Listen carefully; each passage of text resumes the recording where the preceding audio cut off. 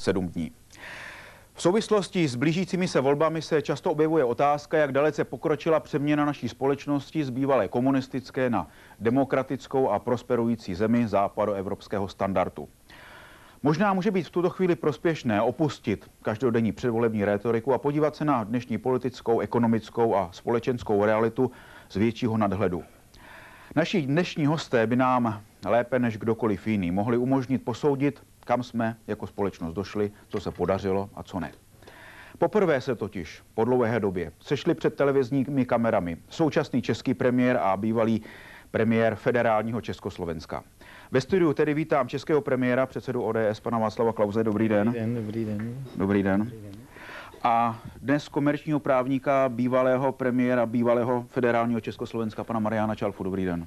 Dobrý den. Dobrý den. Eh, já se omlouvám, eh, pan premiér je přece jenom častějším hostem eh, u nás, že začnu u pana expremiéra. Jak je to s vaším vstupem do politiky? Objevily se takové, takové kalkulace ohledně jistých námluv ze strany sociálních demokratů, posléze to nějak usnulo po té, co jste řekl, že se cítíte na to být premiérem a tak jste nějak odsoudil Miloše Zemana pro něho do, do podřadné role. Jak to v tuto chvíli vypadá? No, já myslím, že eh, slovo, které jste použil, že to usnulo, je, eh, jak by řekl, slovo, které přesně eh, vykresluje ten pravý stav věcí. A plánujete ještě v nějaké dohledné době vstup do politiky? Já, Nebo jste se, spokojen? Tak já se domnívám, že na politické scéně dneska se pohybuje opravdu jaksi dostatek kvalifikovaných i odborných politických lidí, kteří prostě tu situaci zvládnou, takže v tu chvíli tam pro sebe nevidí místo. Pane premiére, vy jste, není, není tajemství, že váš vztah je velice dobrý. Jak, jak rád byste viděl pana, pana Čalfu v politice? Nebo, nebo... Ne, tak zaprvé jsem se usmíval nad tím, eh, protože se mi zdá, že politik nikdy, člověk nikdy nesmí říct ne, protože je by měl předvídat, co bude za pět, za deset let, jestli se vytvoří pro někoho prostor nebo ne.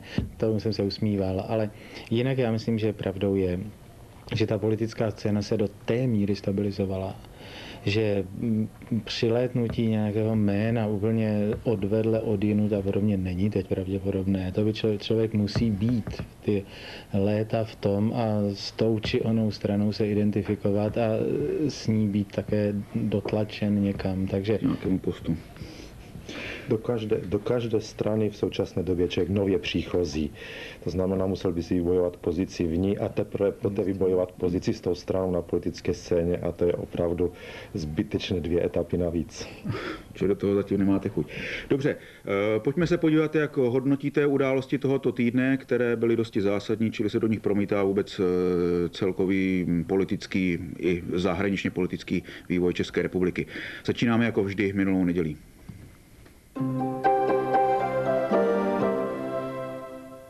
Na kongresu občanské demokratické strany v Hradci Králové zazněla řada výtek na adresu způsobu politického boje a volebních cílů sociálních demokratů. Podle předsedy ODS Václava Klauze směřuje Zemanova politika zpět do minulosti. Česká strana sociálně demokratická usiluje o návrat k systému, jehož demontáž se nám v uplynulých letech zdařila, prohlásil Václav Klaus ve svém úvodním projevu. Takže pánové, máte pocit, že e, česká sociální demokracie skutečně usiluje o nastolení socialismu, byť s lidskou tváří, že to tedy není taková ta klasická západoevropská sociální demokracie s jejími cíly? No to jsou strašně těžké definice. Socialismus, socialismus s lidskou tváří, sociální demokracie klasického, neklasického typu. Já si myslím, že naše dnešní sociální demokracie předvádí dvě věci. Předvádí jistý politický styl, způsob, jak bylo řečeno v tom vašem úvodním slově, který mně se zdá neskutečný a zdá se mi neuvěřitelně špatný a nepatřící do naší země. A druhá věc, hlásá cíle, které opravdu také, myslím, patří někam jinam. A... No ale hrozí skutečně ten návrat eh, v případě jeho vítězství k socialismu, jak jste to eh, řekl v tom, na tom kongresu? No to bychom si museli podrobněji definovat socialismus, jestli si někdo myslí, jestli hrozí návrat pánům Jakešům a a podobným bělakům to asi, to asi ne a to, to, z to bych nikoho neobvinoval, ale já si myslím, že to, co nám říká sociální demokracie, to jsou slova v jejich eh, návrzích a programu nebo v jejich prohlášeních ekonomických, politických, sociálních, že já myslím, člověku trošku rozum zůstává stát. Pane Já bych, já bych jako za Margo toho chtěl říct jako jednu věc. Eh, od roku 89 se povedla jedna zásadní změna a to je změna vlastnictví. Eh, já čím dál tím víc eh, souhlasím nebo prostě si osvojuji to, co konec konců jsme začali dělat, že bylo potřebné velkou rychlostí provést tu transformaci prostě toho vlastnictví a najít skutečně prostě skupinu vlastníků, protože ta skupina vlastníků začíná mít svůj vlastní zájem a e, e, přenesem slova smyslu stabilizuje politickou situaci. Nejméně stabilní politická situace je tam, kde není takový prostě osobní, velmi silný přes celý stát rozprostřený vlastní zájem, který prostě vždycky je něco ve vzduchu, někomu něco patří a nikomu nic nepatří a tak dál. Tady je to úplně jasný základ. To znamená to, že se to velkou rychlostí povedlo převést to vlastnictví a najít prostě ty nové vlastnické vztahy a nové vlastníky, podle mého názoru vytvořilo tak silný, stabilní politický základ, že si nedovedu představit žádnou politickou stranu v současné době, který by tohle to mohla zvrátit do nějakých těch socialistických poměrů před listopadem. Nějaké znárodňování v případě e, vám nepřipadá vůbec reálné? Podle mého názoru ne. Tak já opravdu nemluvím o znárodňování ve smyslu února nebo podobných měsíců roku 48, ale já si myslím, že ta debata je o něčem jiném a je posunutá a ta nebezpečí tkví skutečně v něčem jiném, ne v triviálním znárodnění, i když nevím. Dobře.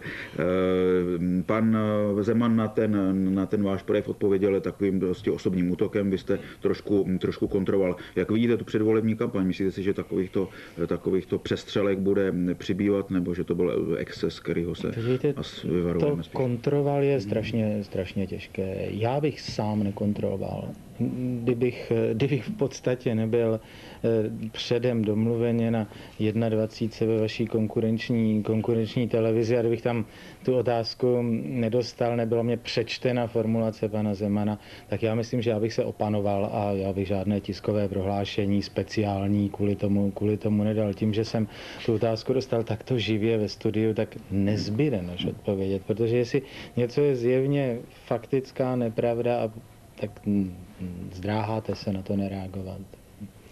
Musím říct, Vašku, že mně se taky nelíbí jako jedna věc a to, že na e, politické půdě, když se projeví nějaký názor na, na politické cíle východiska jiné politické strany, že se na to odpovídá osobním atakem. Prostě musí se to udržet v rovině, musí se to udržet v rovině politické, v rovině jaksi věcné diskuze.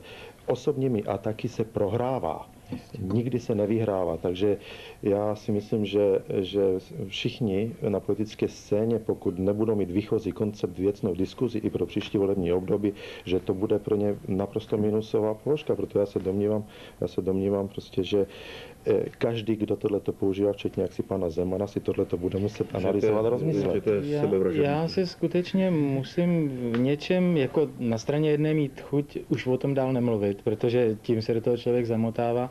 Na straně druhé prostě člověk se trošku musí bránit, protože dobře víte, že neskončilo to tím, ve středu to opaková, bylo opakováno zase v druhém, v druhém kole panem Zemanem a já jsem pochopil, že existuje Žofínské fórum tady v Praze, docela seriózní seskupení lidí, kteří dělají jednou za dva měsíce pravidelné přednášky různých lidí.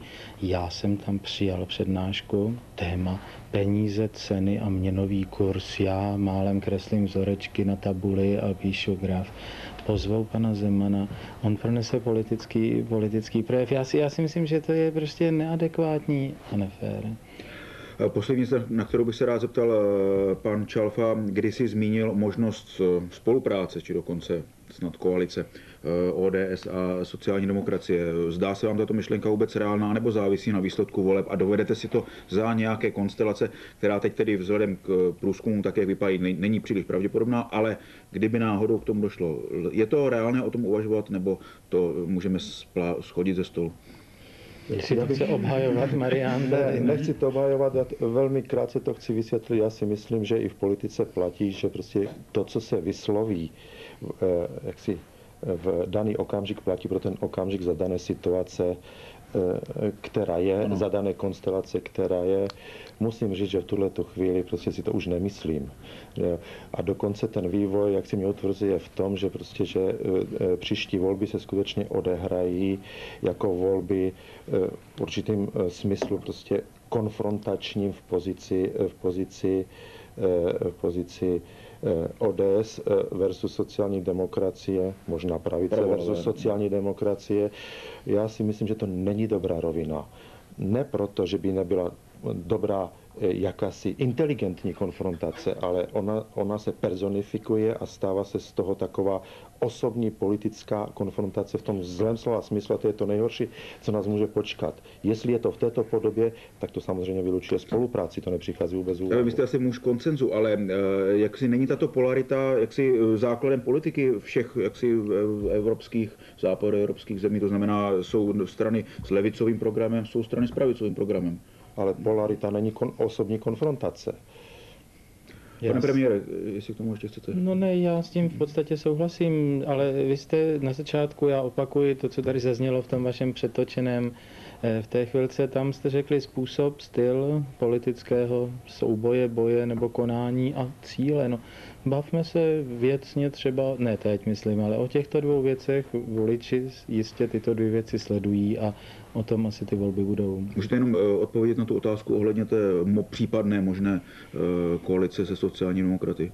Ne, na tom se se, na to musím skutečně usmívat, ale jestli poslední slovo, které jsem od pana Zemana slyšel, je, že do listopadu nám vládli idioti a teď nám vládnou lumpové, tak eh, mysl, já nevím, jestli myslíte, že ta otázka, kterou mě kladete, má vůbec smysl, abych ji odpovídal. Dobře, tím jste odpověděl. Pánové, vám děkuji za názory k tomuto tématu, pojďme dál.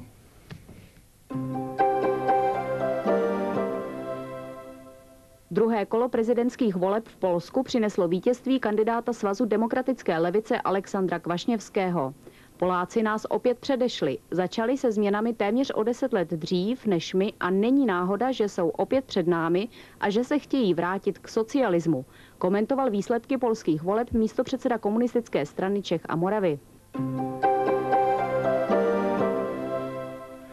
Takže na ty výsledky polských voleb byly komentovány z různého pohledu, ale jeden byl ten, že to znamená další vítězství levice, kompletní, protože tím pádem bude mít polská levice, bude ovládat všechny důležité eh, posty a že vlastně budeme obklopeni víceméně zeměmi s levicovými vládami a Západ, který, pro které Polsko strategická země, z toho může vyvodit nějaké důsledky. Jak to vidíte, jak si tento problém závažný či ne? Jane, kdo chce, kdo chce začít? Já bych na straně jedné řekl, že pan Kvašněvský je levice. To, to nemá smyslu nijak zakrývat a tím se bránit. Na druhé straně si myslím, že prezidentské volby teď v Polsku nebyly pravolevé volby. Na rozdíl třeba od nás. U nás je zřetelně definovaná pravice a zřetelně definovaná levice a někdo ty volby vyhraje. Polsku byla silná, zřetelně definovaná levice v osobě pana Kvašněvského a proti tomu bylo něco, co můžeme hodnotit jakkoliv, ale určitě ne pravice v tom klasickém slova smyslu, jako je tomu třeba u nás. Proto já si myslím, že to předešli nás, nebo eh, něco takového není adekvátní, není adekvátní slůvko. Ta naše No to situace, z pohledu já tomu rozumím, já tomu rozumím, ale ta situace naše je skutečně diametrálně, diametrálně odlišná. Já, já bych eh, chtěl říct, že já si myslím, že mm, eh, ten rozdíl, který mezi nimi byl, tedy rozdíl zhruba asi 3, 3,5%, pokud to dobře pamatuji, že to není vítězství levice a prohra pravice, protože on je dokonce ještě, bych řekl, v rámci velkého zkoumání statistické chybě. Eh, To je, to je první závěr, který já bych udělal. Druhý závěr, eh, který já bych udělal, eh, souhlasil bych s panem premiérem v tom, že, že to nebylo přesně pravo-levé, protože proti mladému, ambicioznímu politikovi, dobře vypadajícími, eh, prostě, eh, který umí mluvit a tak dál a nemá za sebou, bych řekl, dlouhou politickou praxi, kterou by mohlo hodnotit pozitivně nebo negativně, proti němu stal prostě jaksi člověk, který má za sebou vlastně dlouhou politickou praxi. Nejprve jako občan Eh, který vedl prostě solidaritu a, eh, jak si, aby řekl, zvedl to Polsko do toho odporu proti komunistické vládě. Na druhé straně tento občan se nám přetransformoval do politika a zřejmě prostě eh, Eh, občan Valenca a politik Valenca není totéž. To znamená, dostali se proti sobě politik Valenca s politikem Klašněvským, pak si prostě Poláci, Poláci vybrali. To, to je... není ani prohra hmm. pravice, ani prohra levice. To byla výběr máte... pouze mezi nabízenými dvěma možnostmi. Pocit spíš, eh, jak to bylo také někdy interpretováno, že to je vítězství takového moderního, eh, moderního řekněme, manažera, byť levicového s, tradici, s polským tradicionalistou, který je spjat s katolickou církví a s těmi tradičními tradičními, takovými spíš východními hodnotami? No, já si myslím, že moje námitka první, při prvních hodnoceních v pondělí, v úterý byla pozor, to není jednodimenzionální otázka. Kdo to zužuje na pravolevé, mílí se. Kdo to zužuje na politik, nepolitik, moderní, nemoderní a tak dále, nacionalista, nenacionalista. Já myslím, že to všechno jsou součásti toho celku. Prostě prvky toho všeho v tom byly. Na ten výsledek si polský volič prostě vybral, vybral po svém. Pánové, eh, jak vidíte, nebo kde vidíte příčiny toho, že ve většině postkomunistických zemí, v podstatě výjima České republiky, eh, jsou u moci levicové vlády, nebo vítězí, vítězí levicové vlády? Proč tam ano, proč tady ne? Já na to odpověď mám, ale Prostno. to bych radši slyšel od někoho jiného takovou odpověď. Já myslím, že ta odpověď je jednoduchá u nás vznikla silná pravicová politická strana, kterou já v těchto ostatních zemích prostě nevidím. A proč, proč myslíte, že třeba v Polsku nemohla, nebo na Slovensku, jinde v Maďarsku? Já myslím, že zázemí politické, struktura politická je jinak, jiná, to znamená, to je takový ten objektivní faktor. No a pak je tam ještě ten subjektivní faktor, tu stranu musel někdo uplácat prostě a udělat a, a musel, musel prostě ji vytvářet. No. Hmm, to, takže, tady ta skupina ne, lidí, ne, ta skupina lidí, ta skupina lidí, která založila ODS, tak ta tady byla, Dobře, byla muselo tady, silná, být podlouhy, po, muselo tady být nějaká, nějaká poptávka Já myslím, že obojí, obojí. I to podhoubí, i ta, ten subjektivní faktor. Já bych, já bych měl jako uh, trošku odlišný názor. Já si myslím, že subjektivní faktor byl víc převažující než uh, jako uh, poptávka, protože to bylo taky trošku potřeba, jako abych tak řekl, vnutit. Hmm. Nikdo neměl tu jasnou představu, co vlastně chce. Protože jestli si představíme, jak to, jak to jelo velmi krátce, že od té revoluce, tak zde bylo prostě jaksi velmi silné, no prostě občanské fórum, které prostě, které bylo bezbřehé a do, do něho se soustředila prostě jaksi strašná spousta lidí s naprosto e, rozdílným výchozím i politickým konceptem, přesvědčením, zkušeností, historickou a tak dál. A já už jsem e, na nějakém zhromaždění řekl, že prostě jedno, co se u nás udalo a neudalo se někdo jinde, že prostě, že byla zde skupina, nedá se nic dělat opravdu, že jo, jak si jejím lídrem byl uh, uh, Václav Klaus, která uh, naprosto jednoduše pochopila jaksi jednu věc, že jestliže má být prostě jaksi, jaksi ten stát se má vyvíjet prostě v nějakém politickém jaksi gardu, je potřeba, aby se to občanské hnutí přeměnilo, respektive aby se z něj vyloupla prostě jasná politická síla, prostě standardní politická síla, která by odehrála vlastně tu ideologii. Tedy eh, eh, prostě nelze transformovat stát, měnit vlády, vytvořit demokratické prostředí, které by nevycházely prostě z politického konceptu, nikoli z občanského, z politického konceptu. A to se u nás událo. Prostě u nás vznikla naprosto, aby řekl, na transformaci eh, napasovaná politická síla a výsledek se dostavil. A ještě jedna věc je... Zvítězili i, nebo jako si silnou pozici, nebo silnější pozici získali i jiné pravicové strany, čili tady nějaký, v tom obyvatelstvu musela být nějaká, nějaká odezva na ty, na ty programy, které ty strany hlásily. Víte, my jsme, my jsme naznačili, a teď fakt to není žádné přetahování se o procenta, my jsme naznačili faktory dva. Jedna byla jistá demokratická tradice, podhoubí, poptávka, myšlení naší veřejnosti. Na straně druhé byl subjektivní faktor do něčeho takového se pustit a udělat to. Určitě bude otázkou historiků v následujících desetiletích, aby přemítali, jestli ten vliv byl 5-5 nebo 6-4 nebo 4-6. Který z těchto faktorů zapůsobil víc, na to já si netroufám dnes. Na to nemáme odstup. Na to nemáme dostatečný historický odstup, aby jsme to jednoznačně a suverénně řekli. Druhá strana, druhá strana ovšem toho procesu samozřejmě je, že se kompletně rozložili, eh, prostě bych řekl, ty soci, eh, strany s tím socialistickým konceptem, netransformovaly se, to zůstalo jakýmsi mhm. způsobu mm. zakonzervované. No a potom není poptávka. Zase na rozdíl od jiných států, které vedle prostě se pravice kontinuálně rozvíjela, prostě ta, ta levicová strana transformovala se, vysílala o tom signály, přišli noví lidé s novou koncepcí a odehrávala se prostě, odehrávala se ta politická hra ve v rovnovážnější podobě. E, může to vítězství to obklopení zeměmi s levicovou vládou nebo víceméně levicovou vládou pro nás něco znamenat? Může být nějak, e, nějak až nebezpečné?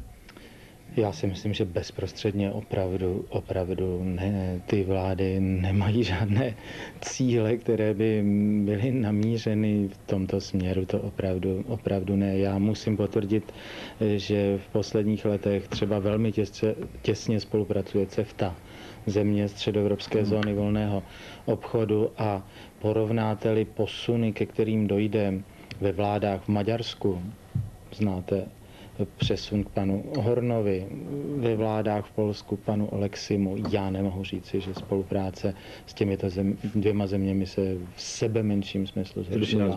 Naopak, možná naopak. Já, já bych řekl jako ještě jednu věc. Už, už to tady od pana premiéra zaznělo že u nás nemáme prostě eh, eh, tu, tu socialistickou nebo levicovou, nebo jak ji nazveme, prostě stranu rovnocennou prostě stranám, jak si pravice, to, co zřejmě vzniklo, jak si v těch jiných státech, jak si kolem nás.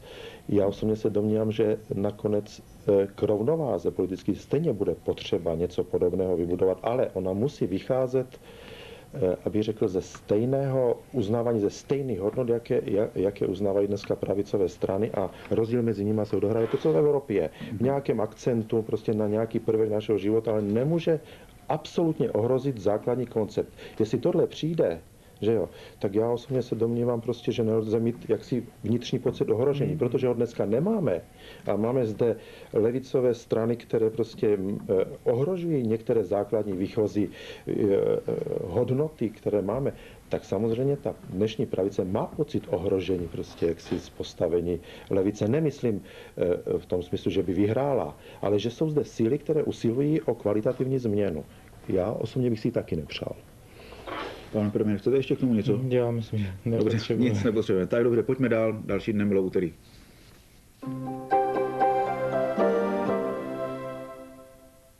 V americkém Daytonu se politikům po čtyřech letech válečného konfliktu podařilo dosáhnout mírové dohody o Bosně. Dohodu parafovali prezidenti Bosny, Chorvatska a Srbska. Podstatnou úlohu při jejím dodržování má sehrát mezinárodní společenství jak z hlediska zajištění klidu zbraní, tak z hlediska hospodářského rozvoje. Formu účasti českých vojáků v mírových sborech bude projednávat česká vláda v příštím týdnu. Takže jak hodnotíte tu mírovou dohodu? Máte pocit, že to znamená skutečně konec války, nebo, nebo to bude ještě velmi problematické a e, jak ukazují některé náznaky, že některé části obyvatelstva s tím nebudou souhlasit? No tak konec, tečka. Za vším, co se odehrávalo čtyři roky v Bosně a v bývalé Jugoslávii, to bohužel, bohužel pro občany této země a pro celý svět není. O tom sebe menší pochyb není. Důležité je aspoň, jak je to významná čárka, nebo, nebo kam daleko už se v tomto, v tomto smyslu došlo. Já myslím, že uzavření této dohody určitě pozitivní je a přejeme to všichni občanům této země Bosny, aby se toto zdařilo. Já já trošku si kladu otazníky. Otazníkem je, eh, co bylo cílem této dohody. Jestli byl krátkodobý mír, jestli krátkodobé utichnutí zbraní, vystužené, vystužené, jak dobře víte, v záměrech eh, nemalými počty vojáků ze světa. Jestli bylo jenom toto cílem, tak je to samozřejmě dobře, ale mám pocit, že málo. Jde o to, jestli se tam zdaří vytvořit trvalý systém, který by byl stabilní. A, a tady si člověk otazníky klade. Prostě celá ta myšlenka v Daytonu je založena na konceptu, že zůstane pořád jednotná Bosna. Já e, si nejsem jist. Jestli zůstane jednotná most, Bosna, která bude rozdělena 60 tisíci vojáky, vojáky NATO a třeba i České republiky, tak já nevím, jestli bude jednotná. Já si to vůbec nedovedu představit, čem bude ta její jednota a jestli to není v tomto smyslu stejně konec konců rozdělení té Bosny na dvě části. Já si nedovedu představit, že by někdy mohlo fungovat trojprezidentství, že se budou střídat tři prezidenti bosenský, eh, bosenských, srb, bosenských muslimů, bosenských Srbů a bosenských Chorvatů se budou eh, měnit, takhle rotovat prezidenti. Dobře víme, že rotoval triumvirát eh, ve starověkém Římě a víme, že to nefungovalo. Triumviráty měli ve francouzské revoluci, já nevím, kde ještě bychom mohli toto hledat. Prostě mm, já o tomhle si kladu otazníky ale že to je zastavení těch bojů, hm, že to je pozitivní věc, není, není sporu. Ale dlouhodobě uvažující člověk musí si klást otázku. Že pan premiér je spíše skeptik, pokud je o více národní stát? Já, Možná já, se hrali zkušenosti s dělením, s dělením Československa. Rozdíl mezi mnou a panem premiér je v tom, že on je skutečně premiér tohohle státu, tudíž já s klidným svědomím můžu říct, že jsem větší skeptik než on. Mm-hmm. Je, protože jestli si představíme, Eh, prostě ten státní útvar, který vznikl, jestli si představíme, že on má tu, prostě tu svou spodní část, tu muslimsko-chorvatskou federaci, pak je koridor, pak je kousek této federace. Po obou stranách máme, máme prostě bosenské Srby. A teď ty dva, eh, ty dva útvary spojené eh, tou enklávou toho Brčka znamenají dohromady republiku, tedy bosensko-srbskou. A jestli ten spodní útvar s tím vrchním, který je oddělen přes tu enklavu, znamená eh, federaci muslimsko-chorvatskou s hlavním městem pro všechno uvnitř, eh, eh, uvnitř této federace, že jo? A to všechno dohromady v, jednom, v jedných hranicích a v jednom státu, který se nazývá Bosna, tak já jako musím říct, že pak chápu, že jo, proč se tohle řešení nenarodilo v Evropě, protože to prostě Evropu nenapadlo.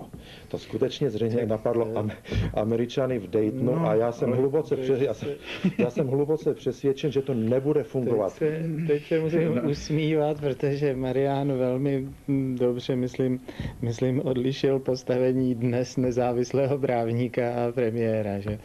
protože komentář, kde se to urodilo a podobně, ne, já dobře vím, no, ta role Spojených států je, je zajímavá. Podívejte, já jsem četl teď jednu americkou studii, která vznikla tento týden a dostal jsem ji, dostal jsem ji na stůl v pátek a vzal jsem si ji na víkend domů a přečet jsem si ji. A je to také studie z toho nezávislého institutu a tam se taky diskutuje. Může dojít k opravdu k dobré dohodě, která vznikne zvenku. Víte, že všechny dělení nebo spojování v minulé době eh, byly úspěšné jen tehdy, kdy to dělali ti vlastní lidé, kteří se buď dělili nebo spojovali ty země sami. A udávají tam příklad Československa a dělení, které probíhalo zevnitř. Neorganizoval ho žádný Dayton, myslím, město, já vím, že to je město, ale ne, nevyšlo venku, zvenku. Tím, že nevyšlo zvenku, tak myslím, že je stabilní. Nicméně Takže... objevily, se, objevily se názory, že jedním z důkazů nebo z podstatných výsledků té konference je důkaz, že Evropa je bez Spojených států neschopná naprosto řešit, řešit no. své problémy. Ta role eh, Spojených států tam byla dominantní. Náš minister zahraničí to taky označil za úspěch Spojených států, tu dohodu. To je asi pravda, ale já bych neřekl Evropa neschopná, protože konec konců eh, já stokrát opakuju, to se musí vyřešit doma, tato věc. A, a z vnějšku... Dobře, ale oni, on, si tam, oni si to nevyřeší a oni se tam postřílejí navzájem. To znamená, že asi no. někdo Ne, možná, možná, se to vyřešit. Možná, možná je opravdu jako e, připustit, potřeba připustit jednu věc, že prostě v roce 1995 bylo nalezeno řešení, sice za pomoci tři divizi e, e, o 60 tisících vojácích, který prostě budou oddělovat válčící strany, že se prostě zastavilo, že jo, zastavilo to skutečně to vyvražďování na, na, na tom etnickém základě. Tak tohle je jaksi velmi nesmírně pozitivní koncept a tak dál, ale že by se s tímto řešením založila státní budoucnost, stabilní, jasná, zřetelná, akceptovatelná, já musím říct, že federacím prostě ovzduší ve střední Evropě, o tom bych mohl povídat, prostě nesvědčí v tuhle chvíli. tak komplikovaná, jak to tady Marian Čelcha popsal, teritoriálně komplikovaná věc, to je těžký strašlivě a, a nikomu to nepřejeme a, a kež by se to zdařilo, takže to není skepse ve smyslu nepřání. To... Nicméně, co je aktuální pro nás, je myšlenka nebo e, problematika účasti, naší účasti v mírových sborech v Bosně. Tak, má to smysl, do jaké míry se v tom, v tom angažovat? Je, mohou se ty sbory dostat do, do vážných konfliktů? Jak se díváte na tento problém? No, podívejte, vláda to velmi seriózně zvažuje. Vláda měla o tom jednou takovou předdebatu a řekla zásady, řekla principy a nyní dostali tři ministři a záměrně tři odlišný, s tím, že každý má jiný pohled na to. Minister zahraničí, minister obrany a minister financí dostali za úkol připravit do vlády materiál, jak dále, jak to konkrétně realizovat. Tento materiál bude, ten jsem podepsal na zasedání vlády v pátek ráno a tento materiál bude ve středu vláda projednávat. Já si dovolím teď pouze zvnějšku diskutovat, protože musím respektovat, že vláda ten materiál ještě nediskutovala, nečetla a nemá smysl, abych já prozrazoval jeho, jeho jednotlivé věci. To by, nebylo, to by nebylo fér. To udělám na tiskové konferenci ve středu odpoledne po vládě, ale mohu ubezpečit každého, že tam nejdeme lehkomyslně bereme v úvahu všechny okolnosti, které tam jsou.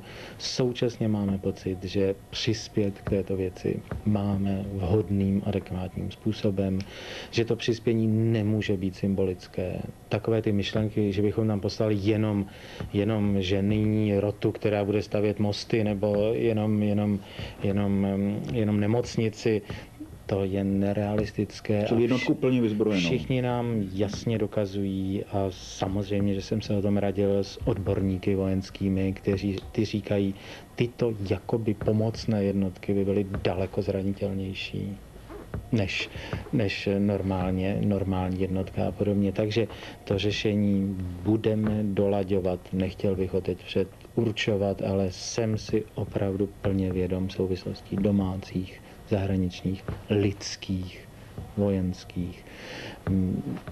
Je to strašně vážná věc.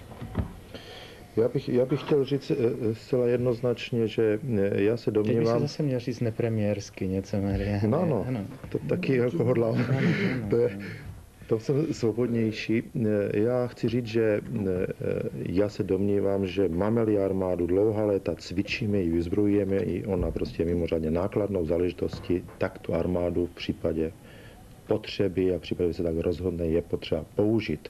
To znamená, já tam bych nebral ohled. To je prostě zbor, který se cvičí prostě pro ozbrojený boj a v tom ozbrojeném boji skutečně jak si, mohou být oběti.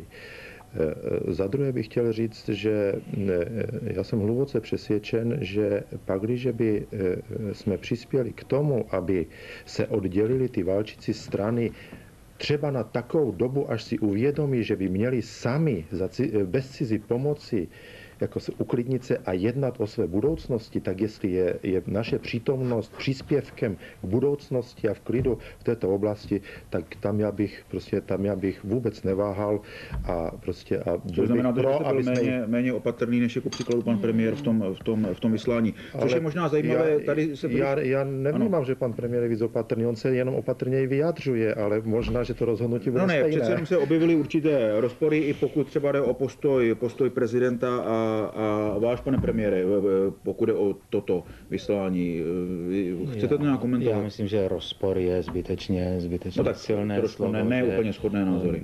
Abych No to tak zmírnil. je jasné, že, že vždycky musí být pohled rozdílný, protože jeden člověk zdůrazňuje jednu věc a druhý člověk zdůrazňuje další souvislosti a také úkolem úřadu a úkolem vlády je domýšlet více všechny souvislosti, které s tím jsou spojené od lidských po materiální, finanční a podobně.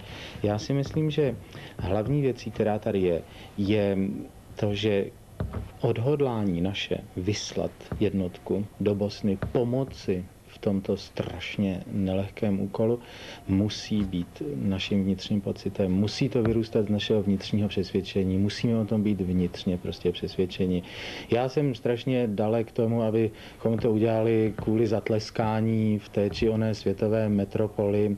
To já si myslím, že by bylo falešné, že by bylo vnější a proto musím opravdu všechny souvislosti brát v úvahu a beru je a já myslím, že se jasně rozhodneme. Když hovoříte o tom, že eh, jak si vláda ty věci musí eh, domýšlet do důsledku, znamená to, že je přece jenom nějaký, jaksi, nebo tento, ta rozdílnost názoru projevuje nějaký jaksi, rozdílnost názoru i pokud je o koncepci zahraniční politiky, eh, nebo takové dlouhodobější otázky, pokud je třeba mm, rád, myslím, já, prezidenta. já myslím, že to je teď zbytečná, zbytečná umělá, umělá diskuze v tomto žádný rozpor nejsem si vědom, že by byl. Já musím, pane redaktore, říct, že prostě, že jak si vás poslouchám a mám jako pocit, že tlačíte na pilu tam, kde prostě není potřeba vůbec tlačit. Prostě ano, byly vyjádřeny jaksi rozdílné názory, ale to není rozdílný koncept. E, e, Pan prezident je v nějakém postavení, pan premiér je v postavení, že je šéfem prostě výkonné moci, to znamená musí zvážit kompletně všechny, e, všechny otázky, které prostě výkonná moc zvážit mu- musí, je jich prostě hodně. Že jo? To znamená, to znamená Dobře, že ale prostě... prezident také jistě, eh, když něco prohlásí, tak zvažuje určité, určité důsledky. A my neříkáme, že ne. Nikdo z nás nic takového tady A taky, a, taky, a taky musím říct, že já nevidím vůbec prostě nějaký rozdíl, jak si v tomhle přístupu.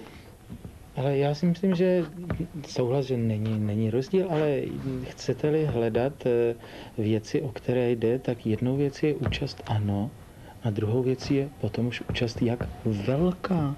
A to už je účast, kde skutečně musí dny, noci, týdny sedět experti ministerstva obra- obrany, kde musí sedět experti finanční stránku hodnotící. No prostě poslat, poslat tam naši jednotku za 5 miliard, 4 miliardy, 3 miliardy, 2 miliardy nebo 1 miliardu. Rozhodnutí, kterou z těchto alternativ si vybrat, to je strašně těžká práce. V tisku eh, A, a to, než dojdete k tomuto závěru, tak jste chvíli rezervovaný a chvíli říkáte, jaký koncept zvolíte, kde budete mezi symbolickou účastí a plnou účastí, jak bude účast velká, co to bude znamenat, jak rychlá, v které části Bosny, pod kterým velením americkým, britským, francouzským, jaké to má souvislosti, kde se více hodí naše jednotka, jak je připravena a tak dále. To je spousta práce. Poslední otázka, pane premiére. Eh, V tisku proběhla úvaha o tom, že by to mělo stát asi 2 miliardy. Eh, Souhlasí to nebo ne? Hmm. Tak zaprvé opakuji, budeme o tom hovořit určitě, ne, určitě ta částka ze státního rozpočtu příští rok taková v žádném případě není. V tom smyslu, že je nižší. Je to nižší. Dobře, a půjde to z rozpočtu armády, nebo, nebo na to vláda vyčlení nějakou samostatnou položku? Musíte nejdříve vláda schválit, abyste teď Ne, dobře, já jsem se ptal na váš názor to bys- jenom, co, myslí, no, co vy, vy tam to budete Já prosazovat. zase musím respektovat, že, že ta vláda se dohodne. Dobře. Já bych To pane tak- redaktore, řekl, že to jsou opravdu v podstatě technické otázky. Rozhodující je, Ne, ale výše, že výše to- nákladů ne, není ne. už úplně technická otázka, Je, jestli to bude stát je, 4 rozhod- miliardy nebo, nebo je, méně než dvě. je, protože prostě vláda může tak rozhodnout jenom uvědomí toho, co je k dispozici. Ale rozhodující je, že se rozhodla, že tam prostě, jaksi, že se, že, že se účastníme, že prostě, že, že naše angažovanost tam bude mít jaksi i tuhle tu formu. Dobře. Pánové, vám děkuji za názory k této věci, pojďme dál.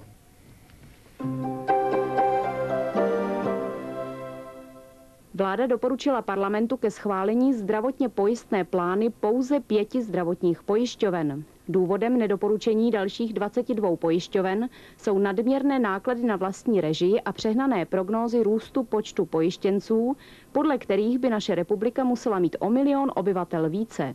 Podle vládních představitelů se však zdaleka nejednalo o likvidaci těchto pojišťoven. Takže eh, je tady problém se zdravotními pojišťovnami. Proč to došlo až do, do tohoto stavu, kdy se, tím, tímto způsobem musí zabývat vláda, že schvaluje tedy jejich, jejich finanční plány, zdravotně pojistné plány? Kde se stala chyba? Jak to vidíte?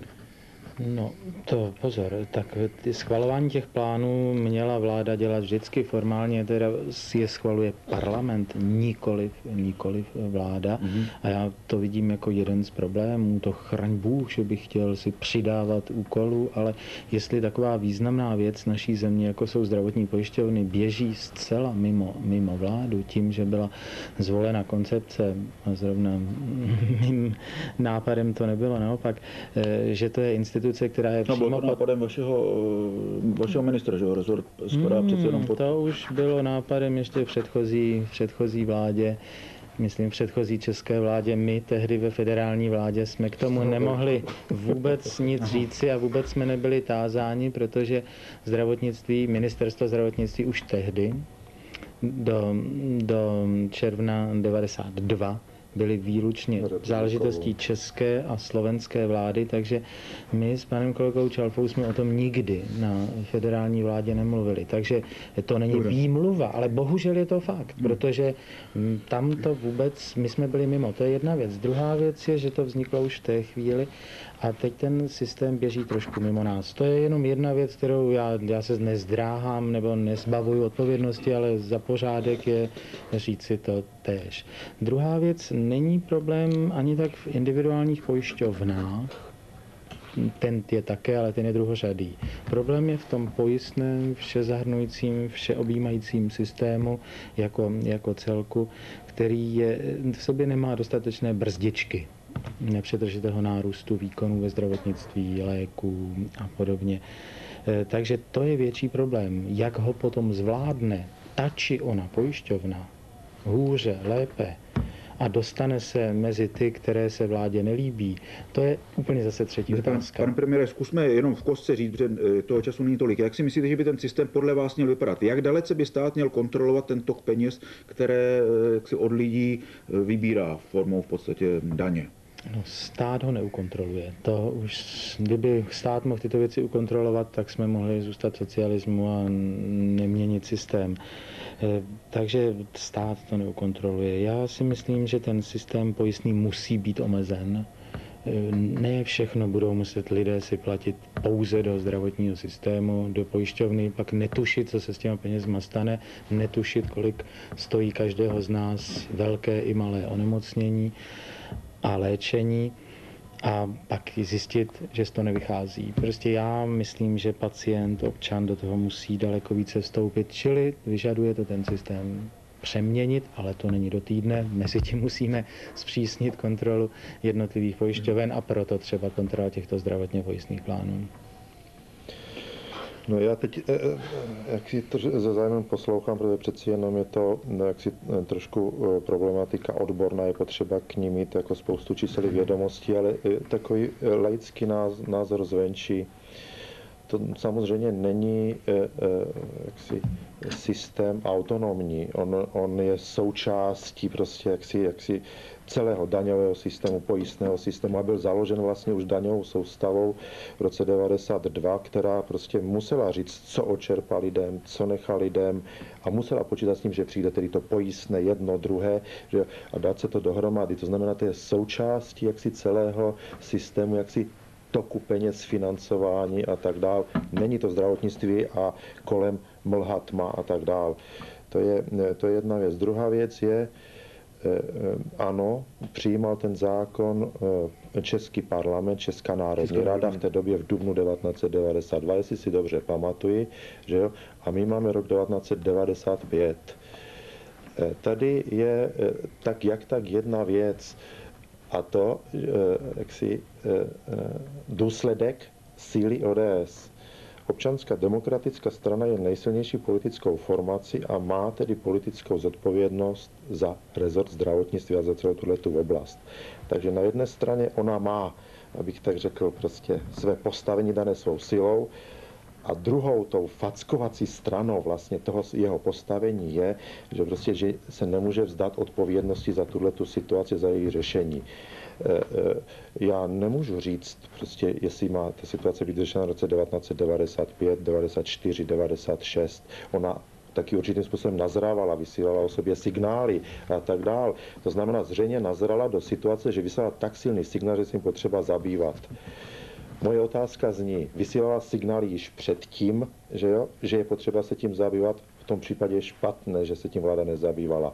Nevysílala, ale vysílala je teď, pak je dobře, že se tím zabývá, prostě a to řešení musí, musí ta premiére, vláda řada kritiků hovoří o tom, že ta, ty signály byly jaksi dost silné už dříve. Co, co, No, co na, já na myslím, že, že je cené, že Marian Čalfa připomíná tuto časovou následnost, protože eh, signály, kdy dospějete k tomu, že ty signály jsou nezbytné, je to první případ, eh, a já bych řekl, že rok 95 znamenal jasné uvědomění si a také si všichni všimli, že jsme se tím zabývali opakovaně.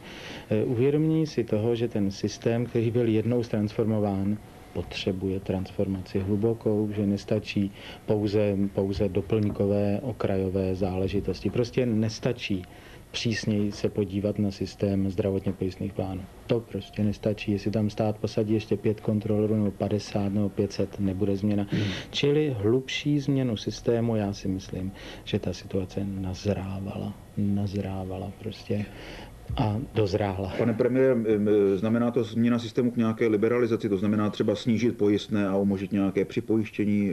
Tímto směrem uvažujete? Určitě, určitě minimálně toto. Já nevím, já už jsem to mnohokrát se pokoušel vysvětlovat a připomínat, ale všichni dobře víme, že, že když si, já vím, že zdraví není auto, ale abychom si uvědomili, téměř nikdo nemáme pojištěné auto na 100% pojistku. Prostě neplatíte si eh, věci do 5 koruny, 50 koruny nebo 300 korun nebo já nevím kolika korun, že začínáte od určité, od určité chvíle.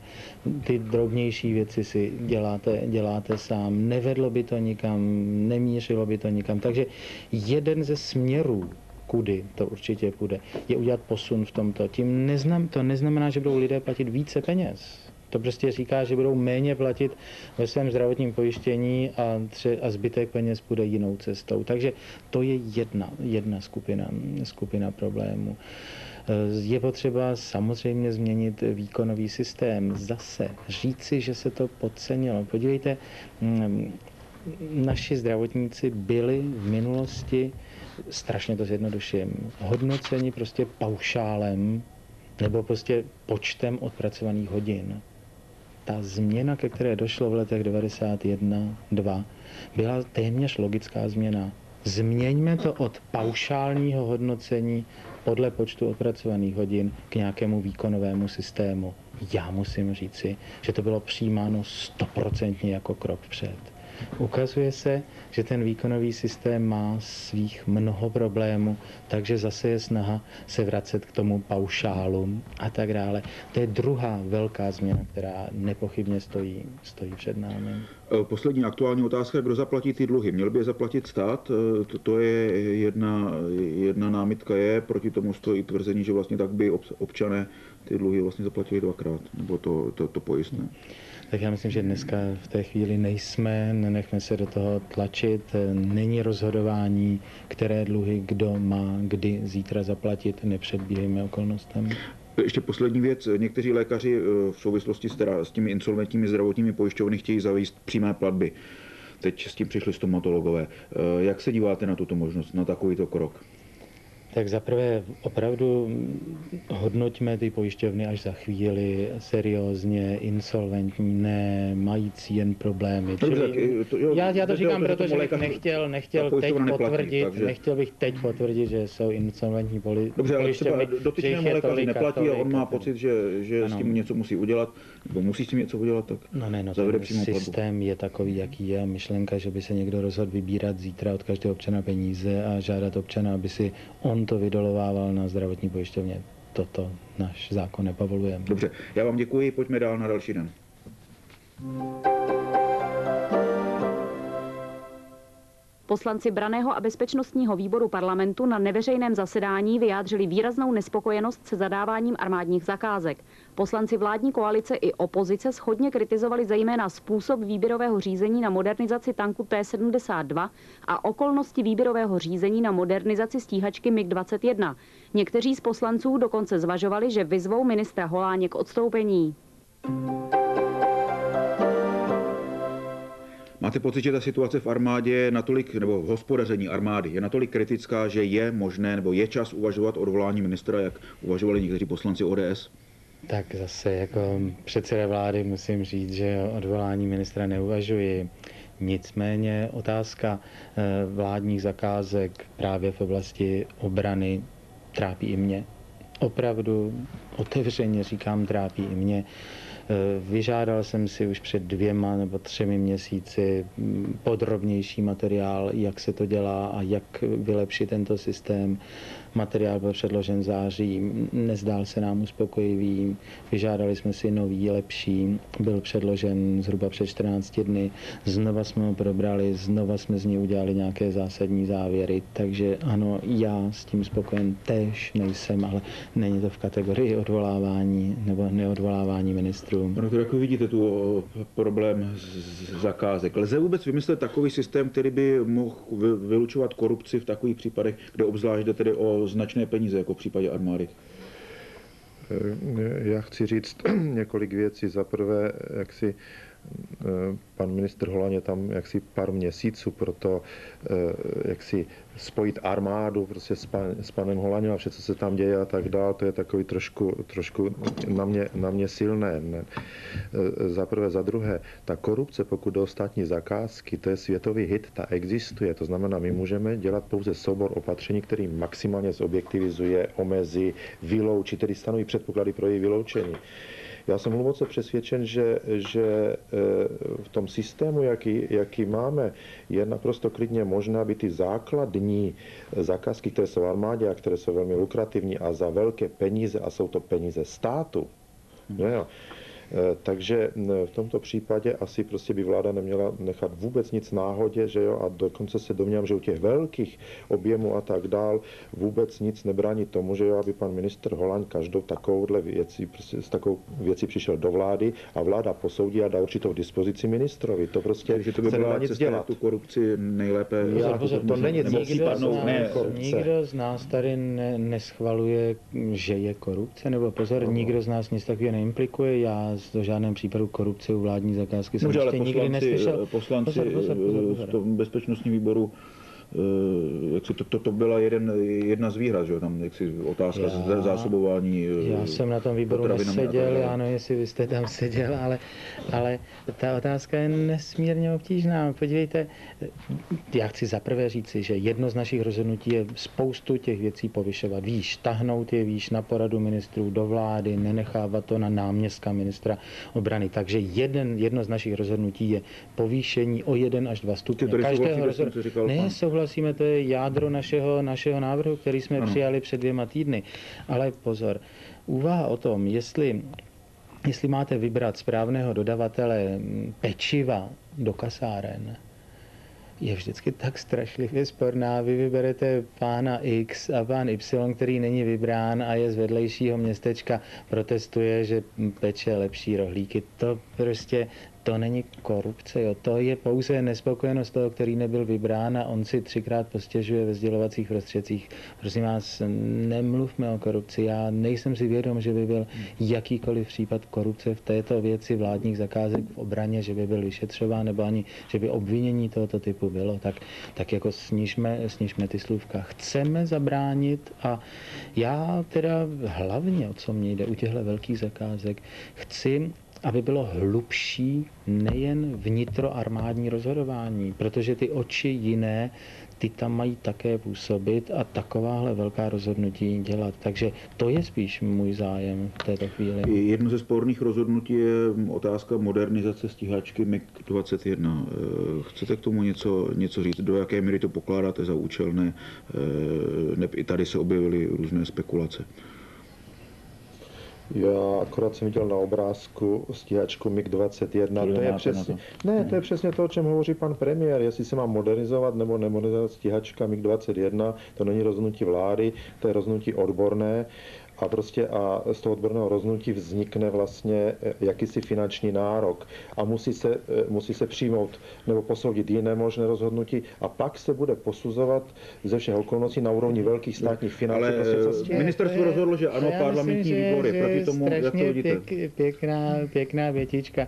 Eh, Já myslím, že každého z nás dvou asi někdy za těch posledních pár let eh, dotáhli vojáci se podívat na tu či onu stíhačku, že? ale to je tak jediné, co o ní můžeme říct. Já obdivuju, obdivuju spoustu lidí ve sdělovacích prostředcích, které mají stoprocentní sebevědomé názory, jestli se má nebo nemá modernizovat. Ne, nemluvíme o Ne, sdělovacích pozor, ale- pane premiére, ne, mluvíme o i- poslancích bezpečnostního i, výboru. I nebo toto spousta, spousta lidí, já jsem řekl ve sdělovacích prostředcích, já jsem neřekl novinář, já jsem řekl ve sdělovacích prostředcích, myslel jsem tím teda Dobře. všechny, kdo tam vyslovují nějaké názory.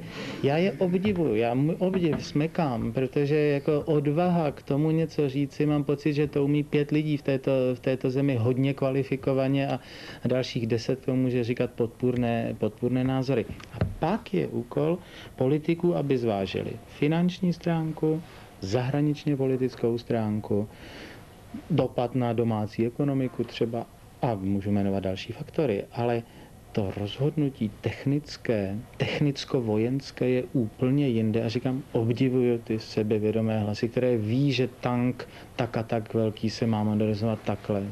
Obdivuju. Dobře, prostě. znamená to, že se tím vláda nebude zabývat eh, konkrétně těmi, těmito dvěmi, eh, dvěm, dvěma problémy. Bude se tím zabývat v logice, v jaké se tím bude prostě zabývat, ano. Ale, ale jako není to to věcně technické rozhodnutí. Vláda bude brát v úvahu samozřejmě ten, ty všechny okolní aspekty. Dobře, já vám děkuji, pojďme na pátek.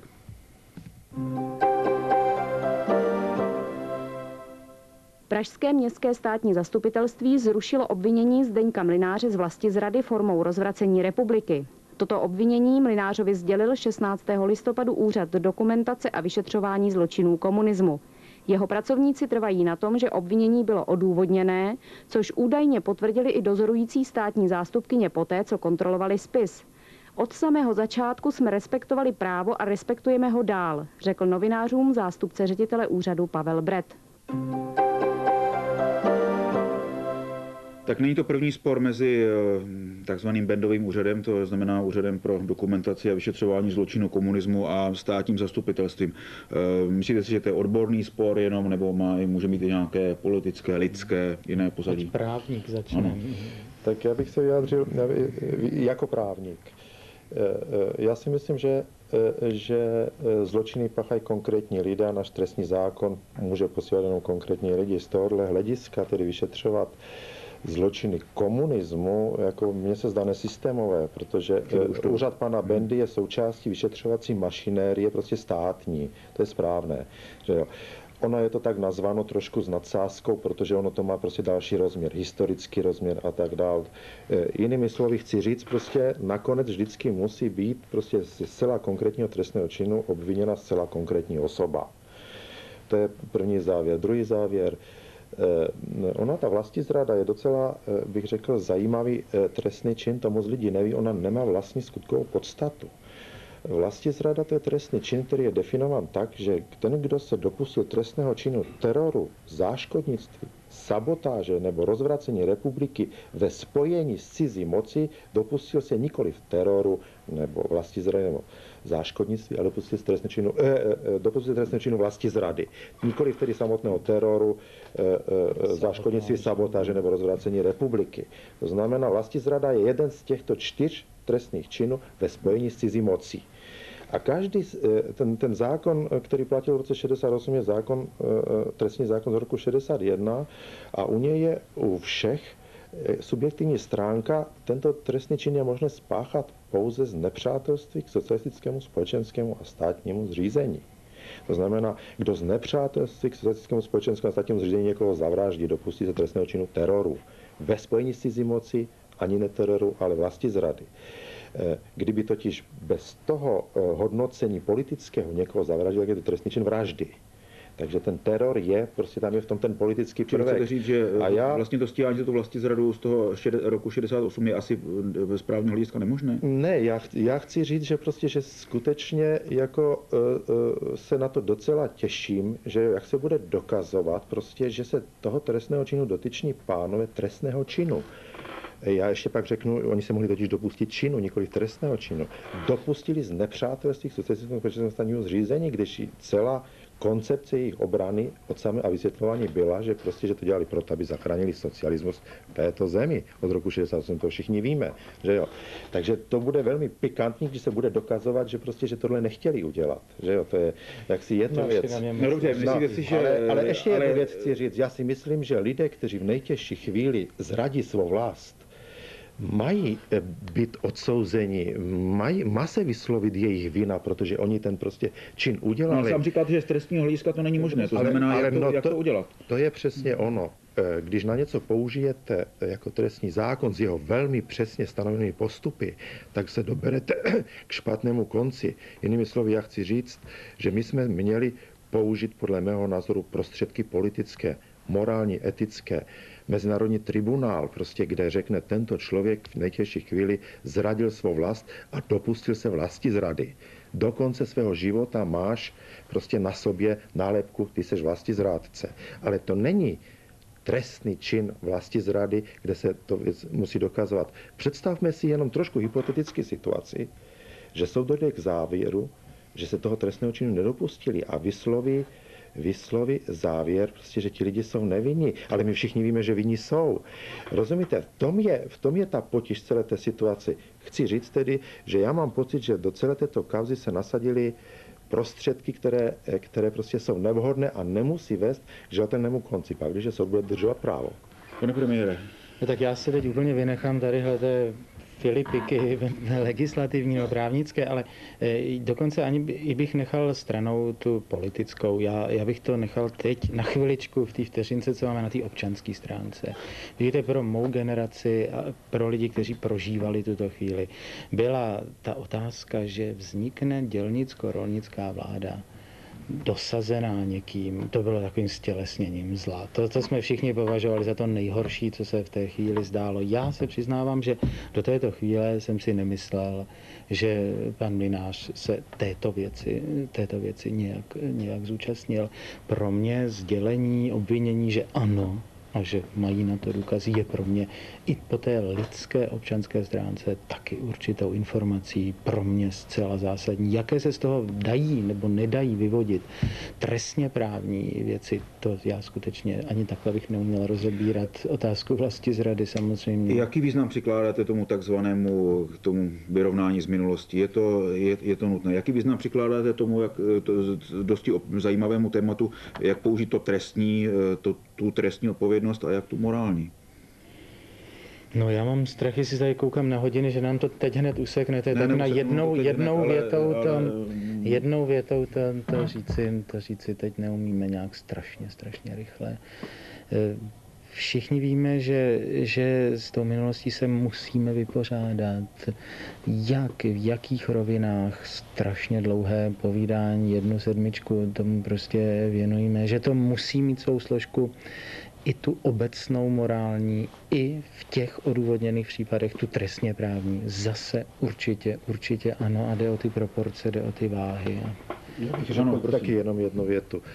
Já si taky myslím, že je potřeba se vypořádat s vlastní minulosti, ale vždycky bych bral způsob, který nerozdělí prostě společnost. Já osobně se domnívám, že, že naše úspěchy a vůbec postup transformace roku 95 jsou důsledkem toho prostě, že nedošlo k rozdělení společnosti eh, eh, ani po revoluci a že vlastně ta společnost prostě zavrhla to, co bylo potřeba zavrhnout. Čili onoho tolik Neroz- nerozbila se- sametu, který je mnohdy kritizován, tak, tak já myslím, já myslím, že ten, že ten samet v těch úvozovkách, eh, že jo, byl dobrý a dnes my sklízíme jako jeho úspěchy. Prostě eh, Česká republika je pokud jde o tu transformaci, prostě bez jakýchkoliv diskuzí. Nejdále, ale- to je taky důsledkem toho. Prosím, pane. No ne, ale já si myslím, že to, že se říká samet někým jako kritika, já myslím, že je to strašlivě, strašlivě nefér, protože u nás zákony rehabilitační, restituční a podobné věci,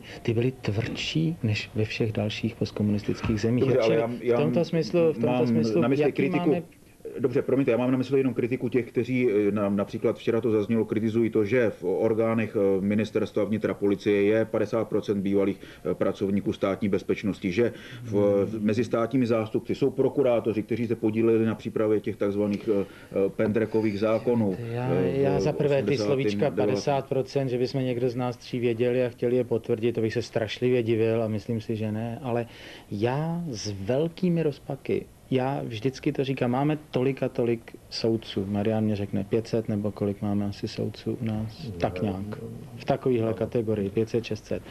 Podívejte, když já dozvím se otázku, proč tady nemáte úplně nové soudce, já říkám, měli přiletět z Marsu nebo z měsíce a všechny existující soudce jsme měli na ten Mars vysadit. No tak ten svět prostě neběží. My žijeme v nějakým kontinuitě i diskontinuitě. Nepřesadíte-li je z Marsu, ty soudce, tak pak jsou to nováčci, mladíčci. Já jsem tento týden s panem prezidentem spolu podepisoval návrhy dalších soudců.